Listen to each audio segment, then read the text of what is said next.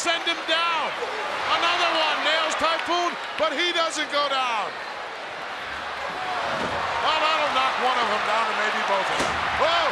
Andre stuck that crutch right in his kisser. Oh! You know, close. There's that old philosophy.